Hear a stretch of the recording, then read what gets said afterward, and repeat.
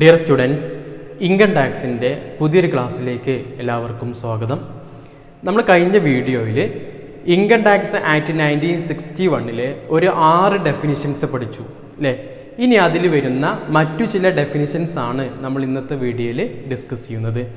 അതിലാദ്യം നമുക്ക് നോക്കാനുള്ളതാണ് average rate of tax average rate of tax അതായത് പല ഇൻകം പലതരത്തിലുള്ള തരത്തിലുള്ള ഇൻകം ഉള്ള ആളുകളും പല റേറ്റ് ഓഫ് ടാക്സ് ആണ് ഗവൺമെന്റിലേക്ക് അടക്കേണ്ടത്. അതായത് ഇപ്പോൾ രണ്ട് ലക്ഷം രൂപ വരെ ഇൻകം ഉണ്ടെങ്കിൽ അദ്ദേഹം ടാക്സിന് അടക്കേണ്ടതില്ല. അതിന് മുകളിലുണ്ടെങ്കിലാണ് ടാക്സിന് അടക്കേണ്ടതുള്ളൂ. അങ്ങനെ ടാക്സ് അടക്കുന്നത് തന്നെ വലിയ എമൗണ്ട് ലക്ഷക്കണക്കിന് എമൗണ്ട് അല്ലെങ്കിൽ കോടിക്കണക്കിന് എമൗണ്ട് ഉള്ള ആളുകൾക്ക് വലിയ പേഴ്സന്റേജ് ടാക്സ് അടക്കേണ്ടി വരും. വലിയ പേഴ്സന്റേജ് ടാക്സ് അടക്കേണ്ടി വരും. അപ്പോൾ ഒരാൾ എത്ര രൂപയാണ് ഗവൺമെന്റിലേക്ക് ടാക്സ് അടക്കാൻ ബാധ്യസ്ഥനായിട്ടുള്ളത്? ആ എമൗണ്ട് ഡിവൈഡഡ് ബൈ അദ്ദേഹത്തിന് എത്രയാണ് ടോട്ടൽ ഇൻകം ഉള്ളത്? ഇന്റു ഹൺഡ്രഡ് ചെയ്ത് കഴിഞ്ഞാൽ കിട്ടുന്നതാണ് ആവറേജ് റേറ്റ് ഓഫ് ടാക്സ് എന്ന് പറയുന്നത്. അതായത് അദ്ദേഹം ഒരാൾ ഒരു അസസി ടാക്സ് അടക്കാൻ ബാധ്യസ്ഥനായിട്ടുള്ള എമൗണ്ട് ഡിവൈഡഡ് ബൈ അദ്ദേഹത്തിന്റെ ടോട്ടൽ ഇൻകം ഇന്റു ഹൺഡ്രഡ് ചെയ്ത് കഴിഞ്ഞാൽ കിട്ടുന്നതാണ് ആവറേജ് റേറ്റ് ഓഫ് ടാക്സ് അതായത് ഒരു വ്യക്തി ഇപ്പോൾ ഒരു വലിയ എമൗണ്ട് ആണെങ്കിൽ അതിന് മുപ്പത് ശതമാനം ടാക്സ് അടക്കണം. അതിന് കുറഞ്ഞതാണെങ്കിൽ ഇരുപത് ശതമാനത്തിന്റെ കാറ്റഗറി പോവും. അതിന് കുറവാണെങ്കിൽ അഞ്ച് ശതമാനം കാറ്റഗറി പോവും. പക്ഷേ ഇങ്ങനെയൊക്കെ കാൽക്കുലേഷൻ നടത്തിയിട്ട് അദ്ദേഹം അവസാനം കിട്ടുന്ന ടാക്സ് അടക്കാൻ ബാധ്യസ്ഥനായിട്ടുള്ള എമൗണ്ടിനെ ടോട്ടൽ ഇൻകം കൊണ്ട് ഡിവൈഡ് ചെയ്ത് നൂറ് കൊണ്ട് ഗുണിച്ച് കഴിഞ്ഞാൽ കിട്ടുന്ന എമൗണ്ടാണ് ആവറേജ് റേറ്റ് ഓഫ് ടാക്സ് അതായത് ഒരാൾ എത്ര ശതമാനം അദ്ദേഹത്തിന്റെ ഇൻകത്തിന്റെ എത്ര ശതമാനം ടാക്സിനത്തിൽ അടച്ചു എന്ന് കാണിക്കാൻ വേണ്ടിയിട്ട് നമ്മൾ കാൽക്കുലേറ്റ് ചെയ്യുന്ന ഒന്നാണ് ഇത് ആവറേജ് റേറ്റ് ഓഫ് ടാക്സ് പത്ത് ലക്ഷം രൂപ ഇൻകമുള്ള ഒരാൾ ഒരു ലക്ഷം രൂപ ടാക്സിനത്തിൽ അടക്കേണ്ടി വന്നു. അദ്ദേഹം അദ്ദേഹത്തിന്റെ ഇൻകത്തിന്റെ പത്ത് ശതമാനം ടാക്സ് അടച്ചു അല്ലേ അതാണ് അവിടെ ആവറേജ് റേറ്റ് ഓഫ് ടാക്സ് എന്ന് പറയുന്നത്. ഒരു മൂന്ന് ലക്ഷം രൂപ ടാക്സ് അടച്ച വ്യക്തിക്ക് പത്ത് ലക്ഷം രൂപയാണ് അവിടെ ടോട്ടൽ ഇൻകം ഉണ്ടായിരുന്നെങ്കിൽ അദ്ദേഹം മുപ്പത് ശതമാനം ടാക്സ് അടച്ചല്ലോ. അപ്പോൾ അത് കമ്പ്യൂട്ട് ചെയ്യുന്നതാണ് average rate of tax the average rate of income tax means the rate arrived at by dividing the amount of income tax calculated on the total income by such total income. Total ഇൻകത്തിന്റെ മുകളിൽ ഒരാളുടെ tax liability കണ്ടെത്ത് ആ tax liability divided by ആ total income കൊണ്ട് തന്നെ divide ചെയ്യുകയാണെങ്കിൽ അതിനെയാണ് average rate of tax എന്ന് പറയുക. Average rate is equal to total tax divided by total income into hundred total tax divide by total income into hundred അതാണ് average rate of tax എന്ന് പറയുന്നത്. മറ്റൊന്നാണ് maximum marginal rate of tax maximum marginal rate of tax അതായത് ഒരു assessee maximum എത്ര percentage tax അടക്കേണ്ടി വരും? ആ ടാക്സ് പെർസെന്റേജ് കാൽക്കുലേറ്റ് ചെയ്ത് കിട്ടുന്നതാണ് ഇത് maximum margin rate of tax ഒരാൾക്ക് ഒരു ഇൻകം ഉള്ള ഒരാളെ സംബന്ധിച്ചിടത്തോളം അദ്ദേഹം ആ ഇൻകത്തിന് മുകളിൽ ടാക്സ് അടക്കണം അല്ലേ? ആ ടാക്സ് അടക്കുന്നതിന് പുറമെ അദ്ദേഹം സർചാർജ് അടക്കണം. എഡ്യൂക്കേഷൻ സിസ്റ്റം അടക്കണം. അതിന് ഒരുപാട് എമൗണ്ട് വേറെ അടക്കാണ്ട് സർചാർജ് എന്നൊക്കെ പറഞ്ഞിട്ട്. അതൊക്കെ നമുക്ക് ഡീറ്റെയിൽ ആയിട്ട് പഠിക്കാനുണ്ട്. ആ സർചാർജ് അടക്കം അദ്ദേഹം അടക്കുന്ന എമൗണ്ട് അദ്ദേഹത്തിന്റെ ടോട്ടൽ ഇൻകത്തിന്റെ എത്ര ശതമാനമാണ്. അതാണ് നമ്മൾ എന്ത് ചെയ്തത്? ആവറേജ് റേറ്റ് ഓഫ് ടാക്സ് എന്ന് പറയുന്നത്. എന്നാൽ ഏറ്റവും വലിയൊരു പേഴ്സന്റേജ് ഉണ്ടാവും. അതായത് നൂറ് കോടിയുള്ള ഒരാൾക്കും നൂറ്റൻപത് കോടിയുള്ള ഒരാൾക്കും ചിലപ്പോൾ ഒരേ പേഴ്സന്റേജ് ഓഫ് ടാക്സ് ആയിരിക്കും അവർ അടച്ചിട്ടുണ്ടാവുക നൂറ് കോടിയിലൊരാൾ നൂറ്റൻപത് കോടിയിലൊരാളും ചിലപ്പോൾ ഒരേ പേഴ്സന്റേജ് ഓഫ് ടാക്സ് ആയിരിക്കും. ചിലപ്പോൾ നാൽപ്പത്തി മൂന്ന് ശതമാനം അവരുടെ ഇംഗത്തിന്റെ നാൽപ്പത്തി മൂന്ന് ശതമാനം വരെ അവരെന്ത് ചെയ്തിട്ടുണ്ടാവും? അടച്ചിട്ടുണ്ടാവും. ഒരാളെ കയ്യിൽ നിന്ന് ആ നാൽപ്പത്തി മൂന്ന് ശതമാനത്തിലേക്ക് വലിയൊരു ടാക്സ് ഒന്നും ഗവൺമെന്റിന് വാങ്ങാൻ കഴിയില്ല. കാരണം അത് മാക്സിമം റേറ്റാണ് മാക്സിമം റേറ്റ് ആണ്. അങ്ങനെ ഒരു മാക്സിമം മാർജിൻ റേറ്റ് ഫിക്സ് ചെയ്യുകയാണെങ്കിൽ അതായത് ഒരാളെ കയ്യിൽ നിന്ന് എത്രയാണോ മാക്സിമം നമുക്ക് ഗവൺമെന്റ് നിലയ്ക്ക് വാങ്ങിക്കാൻ കഴിയുക ആ എമൗണ്ട് ആണ് മാക്സിമം മാർജിൻ റേറ്റ് എന്ന് പറയുന്നത്. നോക്കും it is the tax rate including surcharge on total income surcharge on income tax applicable in relation to highest slab of income of an individual association of person body of individual as the case may be as specified in the relevant previous year. Relevant previous yearൽ എത്രയാണ് tax അടക്കേണ്ടത് എത്രയാണ് ടാക്സിന്റെ slab എന്നൊക്കെ പരിഗണിച്ചുകൊണ്ട് തന്നെ ഒരു ഏതൊരു വ്യക്തിയാണെങ്കിലും അല്ലെങ്കിൽ ഏതൊരു ബോഡി ഓഫ് ഇൻഡിവിജ്വൽ ആണെങ്കിലും അല്ലെങ്കിൽ ഏതെങ്കിലും ഒരു അസോസിയേഷൻ ഓഫ് പേഴ്സൺ ആണെങ്കിലും അവർ ടാക്സ് അടക്കേണ്ട ഒരു ഒരു വലിയൊരു സ്ലാബ് അപ്പുറത്തേക്ക് പിന്നെ വേറെ ആർക്കും ടാക്സ് അടക്കേണ്ടി വരില്ല. അപ്പോൾ നമ്മൾ നോക്കുകയാണെങ്കിൽ നാൽപ്പത്തി മൂന്ന് ശതമാനമൊക്കെ എന്ത് ചെയ്യുന്നത്? മാക്സിമം റേറ്റ് വരുന്നത്. അതിന്റെ അപ്പുറത്തേക്ക് ഒരാളും ടാക്സ് അടക്കേണ്ട അവസ്ഥ വരുന്നില്ല. ഇത് പെട്ടെന്ന് നിങ്ങൾക്ക് അങ്ങനെ മനസ്സിലാക്കാൻ കഴിഞ്ഞോളം എന്നില്ല. കാരണം നമ്മളതിന്റെ ടാക്സ് സ്ലാബുകളും കാര്യങ്ങളൊക്കെ ആദ്യം പഠിച്ചാലേ അത് മനസ്സിലാവുള്ളൂ. നമുക്ക് വീണ്ടുള്ള ക്ലാസ്സുകളിൽ നമുക്കത് പഠിക്കുകയും ചെയ്യാം. അപ്പോഴേ നമുക്ക് ഈ കാര്യങ്ങൾ ഒരു ഒരു പ്രാവശ്യം കൂടി ഒന്ന് പറഞ്ഞു തരുകയും ചെയ്യേണ്ടത്. ഓക്കെ അപ്പോൾ മാക്സിമം മാർജ് റേറ്റ് എന്നാൽ ഒരാളെ മാക്സിമം അടക്കേണ്ട അതിന്റെ അപ്പുറത്തേക്ക് വേറെ ആർക്കും ഇനി ടാക്സ് അടക്കാൻ ബാധ്യസ്ഥ ഉണ്ടാവില്ല ആ പേഴ്സന്റേജ് ആ പേഴ്സന്റേജ് ആണ് മാക്സിമം മാർജ് റേറ്റ് എന്ന് പറയുന്നത്. മറ്റൊന്നാണ് അഗ്രികൾച്ചറൽ ഇൻകം അഗ്രികൾച്ചറൽ ഇൻകം എന്ന് പറഞ്ഞാൽ നമുക്കറിയാം. നമ്മൾ എന്താണ് കൃഷിയിടത്തിൽ നിന്ന് കിട്ടുന്ന ഇൻകമാണ് അഗ്രികൾച്ചർ ഇൻകം എന്നാൽ ഇൻകം ടാക്സ് ആക്റ്റിൽ അഗ്രികൾച്ചർ ഇൻകം എന്ന് പറഞ്ഞു കഴിഞ്ഞാൽ അത് മാത്രമല്ല. നോക്കിക്കോ agriculture income earned by a taxpayer in India is exempt under section ten subsection one of income tax act nineteen sixty one income tax act nineteen sixty one പ്രകാരം നമുക്ക് agricultural income ഉണ്ടെങ്കിൽ ഒരു ടാക്സ് അടക്കാൻ ബാധ്യസ്ഥനായിട്ട് വ്യക്തിക്ക് അതിൽ agricultural income ഉണ്ടെങ്കിൽ അതിന് tax അടക്കേണ്ടതില്ല. അത് എക്സംറ്റ് ആണ്. ഇപ്പോൾ ഒരാൾക്ക് ഒരു ലക്ഷം രൂപ അഗ്രികൾച്ചർ ഇൻകം കിട്ടി അതിന് ടാക്സ് അടക്കേണ്ടതില്ല. അത് എക്സംറ്റ് ആണ്. അപ്പോൾ ആദ്യം അത് മനസ്സിലാക്കുക. Agricultural income section ten subsection one of income tax act nineteen sixty one പ്രകാരം എക്സംറ്റ് ആണ് എന്ന് മനസ്സിലാക്കി വെക്കുക. എന്നിട്ട് നോക്കിക്കോ ഈ അഗ്രികൾച്ചർ ഇൻകം ഇൻകം ടാക്സ് പ്രകാരം പറയുന്നതാണ് അഗ്രികൾച്ചർ ഇൻകം ജനറലി മീൻസ് മൂന്ന് കാര്യങ്ങളിലൂടെയാണ് അഗ്രികൾച്ചറൽ ഇൻകം ഇൻകം ടാക്സ് പറയുന്നത്. ഒന്നാമത്തത് any rent or revenue derived from land which is situated in India and you is used for agriculture purpose agricultural പർപ്പസിന് ഉപയോഗിക്കുന്ന ഒരു land ഇന്ത്യയിൽ സ്ഥിതി ചെയ്യുന്നതാണെങ്കിൽ അതിൽ നിന്നും എന്തെങ്കിലും റെന്റ് ആ ലാൻഡിൽ നിന്ന് റെന്റ് അല്ലെങ്കിൽ മറ്റെന്തെങ്കിലും റവന്യൂ വരുമാനം കിട്ടിയിട്ടുണ്ടെങ്കിൽ അതെന്താണ് അഗ്രികൾച്ചർ ഇൻകമാണ് ഇന്ത്യയിലുള്ള ഒരു ലാൻഡ് അത് അഗ്രികൾച്ചർ പർപ്പസിന് ഉപയോഗിക്കുന്നതാവണം. വേറെ പർപ്പസിന് ഉപയോഗിക്കുന്നതാവാൻ പാടില്ല. അഗ്രികൾച്ചർ പർപ്പസിന് ഉപയോഗിക്കാൻ പറ്റുന്ന ആവുന്നതാകണം ഉപയോഗിക്കുന്നതാവണം. അതിൽ നിന്ന് എന്തെങ്കിലും റെന്റ് അല്ലെങ്കിൽ മറ്റെന്തെങ്കിലും റവന്യൂ കിട്ടിയിട്ടുണ്ടെങ്കിൽ അതെന്താണ് അഗ്രികൾച്ചർ ഇൻകമായിട്ട് പരിഗണിക്കപ്പെടും. രണ്ടാമത്തത് any income derived from such land by agriculture operation agriculture ഓപ്പറേഷനിലൂടെ കിട്ടിയിട്ടുള്ള എന്തെങ്കിലും ഇൻകം ഇവിടെ റെന്റും അല്ലെങ്കിൽ മറ്റുള്ള റവന്യൂ ഒക്കെ പറഞ്ഞത്. എന്നാൽ കൃഷി ചെയ്തിട്ട് ആ കൃഷിയിൽ നിന്നും കിട്ടുന്ന ഇൻകം ഉണ്ടെങ്കിൽ കൃഷി ചെയ്തിട്ട് ആ അതിൽ നിന്ന് കിട്ടുന്ന വിളവ് നമ്മൾ വിറ്റ് ആ എമൗണ്ട് നമുക്ക് ഒരു വരുമാനമായിട്ട് മാറുന്നുണ്ടെങ്കിൽ അതും അഗ്രികൾച്ചർ ഇൻകമാണ് ഒന്നാമത്തത് എന്താണ് പറഞ്ഞത്? റെന്റ് അല്ലെങ്കിൽ റവന്യൂ ആണ്. രണ്ടാമത്തത് എന്താണ്? അഗ്രികൾച്ചർ ഓപ്പറേഷനിൽ നിന്നും കിട്ടുന്ന കൃഷി ചെയ്തിട്ട് കിട്ടുന്ന വരുമാനം. മൂന്നാമത്തത് any income from farm house farm ഹൗസിൽ നിന്നും കിട്ടുന്ന വരുമാനം ഫാം ഹൗസിൽ നിന്ന് കിട്ടുന്ന വരുമാനം. എന്നീ മൂന്ന് കാര്യങ്ങളാണ് അഗ്രികൾച്ചർ ഇൻകമായിട്ട് പരിഗണിക്കപ്പെടുന്നത്. അഗ്രികൾച്ചർ ഇൻകം എക്സംറ്റ് ആണ് ഇൻകം ടാക്സ് പ്രകാരം മനസ്സിലാക്കുക. അഗ്രികൾച്ചർ ഇൻകം ഏതൊക്കെ വരും ചോദിച്ചു കഴിഞ്ഞാൽ ഏതൊക്കെയാണ് വരിക?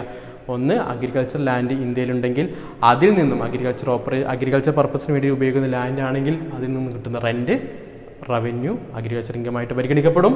മറ്റൊന്ന് യഥാത്തരത്തിലുള്ള ലാൻഡിൽ നമ്മൾ നടത്തുന്ന അഗ്രികൾച്ചർ ഓപ്പറേഷൻ കൃഷി ചെയ്തിട്ട് കിട്ടുന്ന വരുമാനം മൂന്നാമത്തത് ഫാം ഹൗസിൽ നിന്ന് കിട്ടുന്ന വരുമാനം.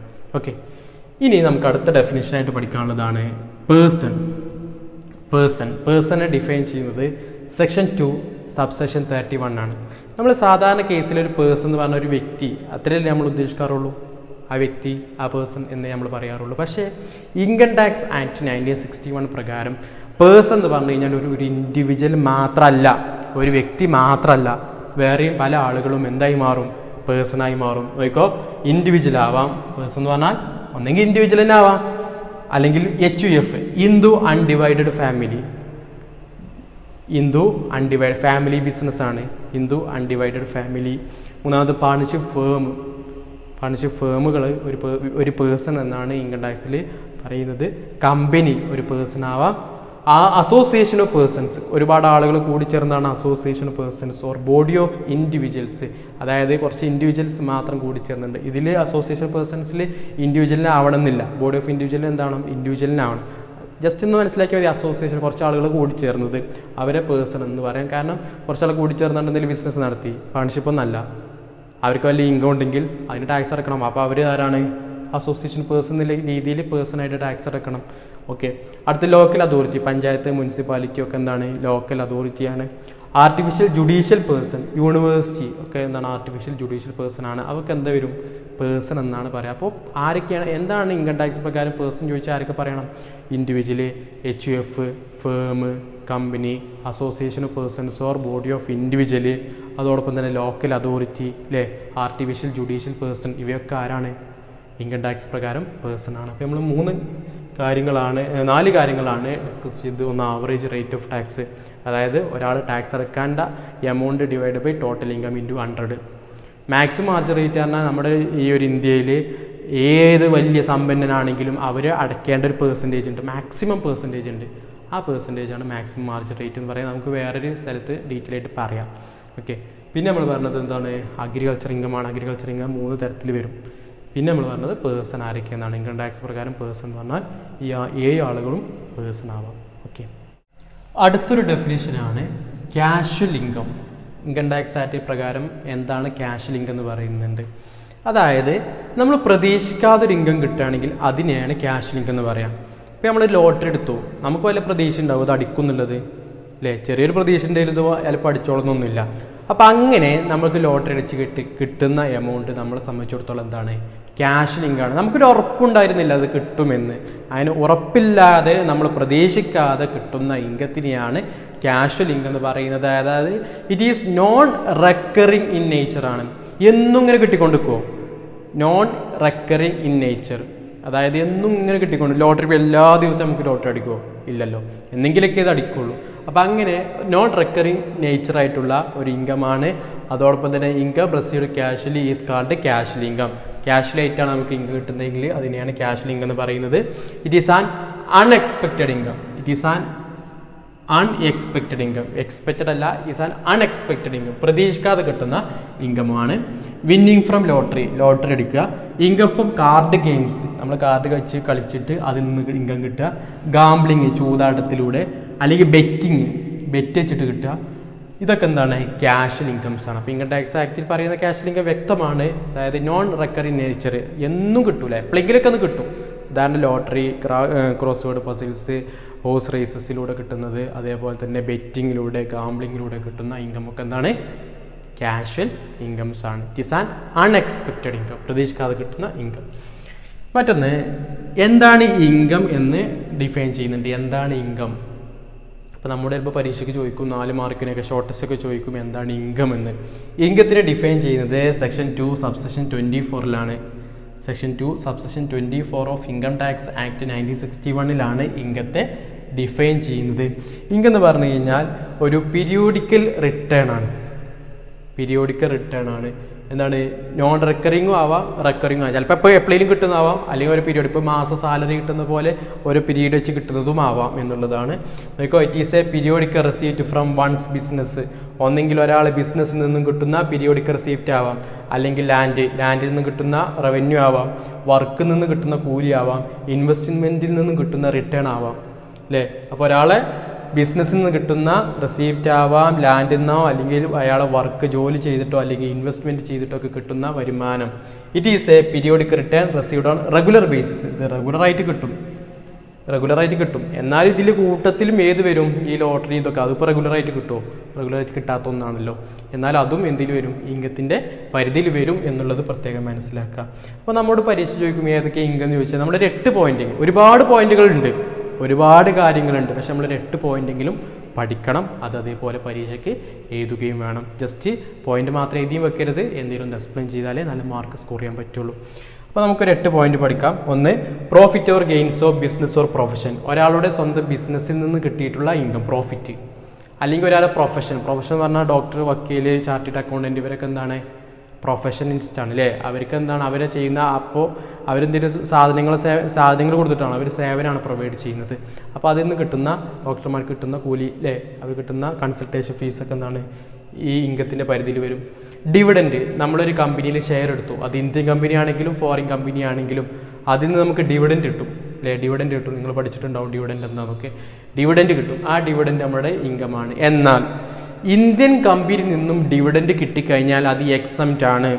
ഇന്ത്യൻ കമ്പനിയിൽ നിന്നും ഡിവിഡൻഡ് കിട്ടിക്കഴിഞ്ഞാൽ അത് എക്സംറ്റ് ആണ്. നമ്മൾ അഗ്രികൾച്ചർ ഇൻകത്ത് പറഞ്ഞില്ലേ? ഇന്ത്യയിലുള്ള ഒരു ലാൻഡിൽ നിന്നും അഗ്രികൾച്ചർ ഇൻകം ഉണ്ടെങ്കിൽ അത് എക്സംറ്റ് ആണ്. അതേപോലെ ഇന്ത്യൻ കമ്പനിയിൽ നിന്നും നമുക്ക് ഡിവിഡൻഡ് കിട്ടിക്കഴിഞ്ഞാൽ അതിന് നമ്മൾ ടാക്സ് കൊടുക്കേണ്ടതില്ല. എക്സംറ്റ് ആണ്. അതെന്തുകൊണ്ടാണെന്ന് വെച്ച് കഴിഞ്ഞാൽ നമ്മുടെ കമ്പനി തന്നെ ഈ ഡിവിഡൻഡ് ഇഷ്യൂ ചെയ്യുമ്പോൾ ഡിവിഡൻഡ് ഷെയർ ഹോൾഡേഴ്സിന് കൊടുക്കുമ്പോൾ കമ്പനി തന്നെ കോർപ്പറേറ്റ് ഡിവിഡന്റ് ടാക്സ് എന്ന് പറഞ്ഞിട്ട് ഗവൺമെന്റിലേക്ക് ടാക്സ് അടക്കുന്നുണ്ട്. കമ്പനി തന്നെ ഡിവിഡന്റിന്റെ മുകളിൽ എത്ര ശതമാനം പറഞ്ഞിട്ട് ടാക്സ് അടക്കുന്നുണ്ട്. നിങ്ങൾ ഫിനാൻഷ്യൽ അക്കൗണ്ടിങ്ങിൽ പഠിച്ചിട്ടുണ്ടാവും. അപ്പം അങ്ങനെ ഓൾറെഡി കമ്പനി തന്നെ ആ എമൗണ്ടിന് മുകളിൽ ടാക്സ് അടക്കുന്ന അടക്കുന്നുണ്ട്. അതുകൊണ്ട് പിന്നെ ഈ കിട്ടുന്ന ഇൻഡിവിജ്വൽ എന്ത് ചെയ്യേണ്ട ആവശ്യമില്ല. അതിന് വേറെ ടാക്സ് അടക്കേണ്ടതില്ല. അത് നമുക്ക് ഇൻകം ഫ്രം അതർ സോഴ്സിൽ ഡിവിഡന്റുമായി ബന്ധപ്പെട്ട് കൂടുതൽ പഠിക്കാണ്ട് അവിടെ ഡീറ്റെയിൽ ആയിട്ട് പറയാം. ഇപ്പോൾ ഡിവിഡന്റ് ഫ്രം ഇന്ത്യൻ കമ്പനി എന്താണ്? എക്സംറ്റ് മാത്രം മനസ്സിലാക്കി വെക്കുക. ഇൻകത്തിൽ എന്ത് വരും? ഡിവിഡന്റ് വരും. മറ്റൊന്ന് voluntary contribution received by a charitable or religious trust religious ട്രസ്റ്റിന് അല്ലെങ്കിൽ ചാരിറ്റബിൾ ട്രസ്റ്റ് ഒക്കെ ഉണ്ടാവുമല്ലോ. അവർക്ക് എന്ത് ചെയ്യും? വെറുതെ ആളുകൾ വന്ന് ക്യാഷ് കൊടുക്കും അല്ലേ വെറുതെ കൊടുക്കുന്ന എമൗണ്ടാണ് അതും എന്ത് ചെയ്യണം? അവർ ടാക്സ് അടക്കണം. ഇപ്പോൾ റിലീജിയസ് ട്രസ്റ്റിൽ ഒരു റിലീജിയസ് ട്രസ്റ്റിലേക്കോ അല്ലെങ്കിൽ ചാരിറ്റബിൾ ട്രസ്റ്റിലേക്കോ ഒരു വലിയ എമൗണ്ട് കിട്ടി. അവർക്ക് ഒരു വർഷത്തിൽ നല്ല എമൗണ്ട് ഇട്ടിരുന്നതാവും അല്ലേ പല ആളുകൾ കുറഞ്ഞ എമൗണ്ട് ആണെങ്കിൽ വലിയ എമൗണ്ടായി മാറും. അതിന് ഒരു പ്രിസ്ക്രൈബ് ലിമിറ്റിനേക്കാൾ കൂടുതലുണ്ടെങ്കിൽ എന്ത് ചെയ്യണം ഗവൺമെന്റിലേക്ക് അവർ ടാക്സ് അടക്കണം. അപ്പോൾ അതൊരു ഇൻകമാണ്. ഓക്കെ. മറ്റൊന്ന് വാല്യൂ ഓഫ് പെർക്കുസൈറ്റ് നമുക്ക് എവിടെന്നെങ്കിലും എന്തെങ്കിലും സൗകര്യം കിട്ടുക. ഇപ്പോൾ നമ്മൾ സ്ഥാപനത്തിൽ വർക്ക് ചെയ്യുന്നുണ്ട്. അപ്പോൾ ആ സ്ഥാപനത്തെ കാറ് നമുക്ക് ഉപയോഗിക്കാൻ കിട്ടുക. അതൊരു പെർക്കുസൈറ്റ് ആണ്. ആ സ്ഥാപനത്തിൽ നമ്മൾ അവർ ഭക്ഷണം പ്രൊവൈഡ് ചെയ്യുന്നുണ്ട്. അത് നമുക്ക് കിട്ടുന്നുണ്ട്. അതൊരു പെർക്കുസൈറ്റ് ആണ്. അതായത് നമുക്ക് ക്യാഷ് അല്ലാതെ ക്യാഷ് അല്ലാതെ കിട്ടുന്നതൊക്കെയാണ് എന്ത്? പെർക്കുസൈറ്റ് നമുക്ക് താമസിക്കാൻ അവർ വീട് അറേഞ്ച് ചെയ്ത് തന്നു. നമുക്കവിടെ താമസിച്ചാൽ മാത്രം മതി. അത് നമുക്കൊരു പെർക്കുസൈറ്റ് ആണ് നമ്മളതിന് വാടക കൊടുക്കേണ്ടതില്ല. അപ്പം അങ്ങനെ ഒരു സ്ഥാപനത്തിൽ വർക്ക് ചെയ്യുമ്പോഴൊക്കെ നമുക്ക് കിട്ടുന്ന അലവൻസ് അല്ലാത്ത ക്യാഷായിട്ട് കിട്ടാത്ത നമുക്ക് കിട്ടുന്ന സൗകര്യങ്ങൾ ഫെസിലിറ്റീസ് ഉണ്ടല്ലോ. ആ ഫെസിലിറ്റിയാണ് perquisite or profit lieu of salary profit lieu of salary salary പകരമായിട്ട് ചില കമ്പനി എന്ത് കൊടുക്കും? പ്രോഫിറ്റ് കൊടുക്കും. ഓരോ മാസത്തിലോ സാലറി തരൂല. പകരം എന്ത് ചെയ്യുക നമ്മളെ പ്രോഫിറ്റ് കിട്ടിക്കഴിഞ്ഞാൽ ആ പ്രോഫിറ്റിന്റെ പത്ത് ശതമാനം എനിക്ക് തരാമെന്ന് പറഞ്ഞൊരു കമ്പനി നമ്മളൊരു എംപ്ലോയിന് വെക്കുകയാണെങ്കിൽ ഒരു കമ്പനി ഒരു എംപ്ലോയിന് വെക്കുകയാണെങ്കിൽ അതെന്താണ്? Profit in lieu of salary സാലറിക്ക് പകരമായിട്ട് പ്രോഫിറ്റ് കൊടുക്കുകയാണെങ്കിൽ അതും ഒരു ഇൻകമാണ് ഓക്കെ മറ്റെന്ത്? ഇൻട്രസ്റ്റ് ബാങ്കിൽ നിന്ന് ഇൻട്രസ്റ്റ് കിട്ടൂലേ? അല്ലെങ്കിൽ ഡിബഞ്ചറിൽ നിന്ന് ഇൻട്രസ്റ്റ് കിട്ടൂലേ? അതൊരു ഇൻകമാണ് സാലറി അല്ലേ മാസ സാലറി കിട്ടുന്നത്. ബോണസ് കിട്ടുക സ്ഥാപനത്തിൽ നിന്ന് കമ്മീഷൻ കിട്ടുക. അല്ലെങ്കിൽ remuneration earned by a partnership firm ഒരു പാർട്ണർഷിപ്പ് ഫേം പാർട്ണർമാരുണ്ടല്ലോ ആ പാർട്ണർമാർക്ക് എന്ത് കിട്ടും? ആ സ്ഥാപനത്തിൽ നിന്നും ഇൻട്രസ്റ്റ് കിട്ടും. അല്ലേ പാർട്ണേഴ്സ് ക്യാപിറ്റൽ ഇൻട്രസ്റ്റ് കൊടുക്കൂലേ? സാലറി കിട്ടും. ബോണസ് കിട്ടും. കമ്മീഷൻ കിട്ടും. റെമ്യൂണേഷൻ കിട്ടും. ഇതൊക്കെ കിട്ടും. ആ കിട്ടുന്നതിന്റെ ആ കിട്ടുന്ന എമൗണ്ട് ഇൻകമായിട്ട് പരിഗണിക്കപ്പെടുന്നതാണ്. പാർട്ണർഷിപ്പ് ഫേമിൽ നിന്നും കിട്ടുന്ന ഏതെങ്കിലും തരത്തിലുള്ള ഇൻകം ഉണ്ടെങ്കിൽ അതെന്താണ്? ഇൻകം ടാക്സ് ഇൻകമായിട്ട് പരിഗണിക്കപ്പെടും. ക്യാപിറ്റൽ ഗെയിൻ ക്യാപിറ്റൽ ഗെയിൻ എന്ന് പറഞ്ഞാൽ നമുക്ക് എന്തെങ്കിലും ഭൂമി ഉണ്ട് അല്ലെങ്കിൽ ഒരു വീടുണ്ട്. ആ വീട് നമ്മൾ വിറ്റു. നമ്മൾ വാങ്ങിയതിനേക്കാൾ വലിയ വിലക്കാണ് വിറ്റതെങ്കിൽ നമുക്കവിടെ ലാഭമുണ്ട്. ആ ലാഭത്തിന് നമ്മൾ ഇരുപത് ശതമാനം ഗവൺമെന്റിലേക്ക് ടാക്സ് അടക്കണം. നമ്മൾ രണ്ടായിരത്തി പതിനഞ്ചിൽ വാങ്ങിയിട്ടുള്ളൊരു ഭൂമിക്ക് പത്ത് ലക്ഷമായിരുന്നു. ഇപ്പോൾ ഇരുപത് ലക്ഷം രൂപയ്ക്ക് രണ്ടായിരത്തി ഇരുപത്തൊന്നിൽ വിൽക്കുകയാണ്. അല്ലേ? പത്ത് ലക്ഷം രൂപ ലാഭമല്ലേ? ആ പത്ത് ലക്ഷം രൂപയുടെ ഇരുപത് ശതമാനം രണ്ട് ലക്ഷം രൂപ ഗവൺമെന്റിലേക്ക് ടാക്സ് ഇനത്തിൽ അടക്കണം. ശരിക്കും അടക്കണം പക്ഷേ എല്ലാവരും എന്ത് ചെയ്യും? സ്ഥലത്തിന്റെ വില കുറച്ച് കാണിക്കും. മറ്റൊന്ന് അതാണ് capital gain capital asset transfer capital asset പറഞ്ഞാൽ ഫിക്സഡ് അസറ്റ് പോലുള്ള നമുക്ക് ലാൻഡ് പ്ലാന്റ് ബിൽഡിങ് അങ്ങനെയുള്ള കാര്യങ്ങളൊക്കെ ട്രാൻസ്ഫർ ചെയ്യുമ്പോൾ അത് കിട്ടുന്നത്. പ്രോഫിറ്റ് ഓഫ് കോപ്പറേറ്റീവ് ബാങ്ക് നമുക്ക് കോപ്പറേറ്റീവ് ബാങ്കുകളുണ്ടാവും നമ്മുടെ പരിസരത്തൊക്കെ അല്ലേ? അവർക്ക് കിട്ടുന്ന ഇൻകം അവർക്ക് പ്രധാന സോഴ്സ് എന്താണ്? ഇൻട്രസ്റ്റ് തന്നെയാണ്. ജനങ്ങളിൽ നിന്നും വാങ്ങിക്കുന്ന ഇൻട്രസ്റ്റ് ആണ് അവരുടെ പ്രധാന വരുമാനം. അത് ആ പ്രോഫിറ്റ് ഇൻകം ആയിട്ട് കണക്കാക്കപ്പെടും. മറ്റൊന്ന് വിന്നിങ് ഫ്രം ലോട്ടറീസ് ലോട്ടറി അടിക്കുക.